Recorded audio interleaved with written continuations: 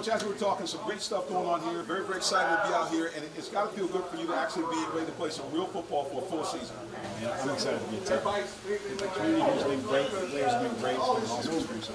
Yeah, we have some rain here, but it hasn't hasn't seemed to dampen anybody's spirits. All the players seem to be charged up, coaches charged up. Everybody's saying the same thing. They just want to be out here playing some football.